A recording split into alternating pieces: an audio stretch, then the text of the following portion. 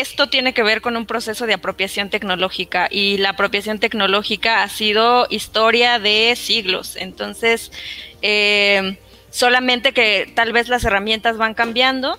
pero siempre eh, ha sido muy importante para nosotros tener claro que todo lo que se haga en plataformas digitales no puede de ninguna manera estar alejado de lo que se esté haciendo concretamente y que nunca, nunca jamás perdamos de vista para quién se está haciendo ese trabajo. O sea, como el desplazamiento de las lenguas está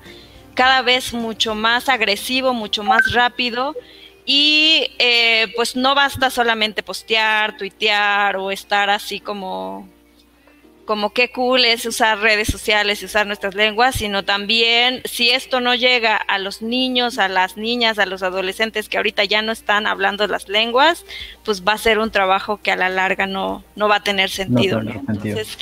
pero por eso yo creo que está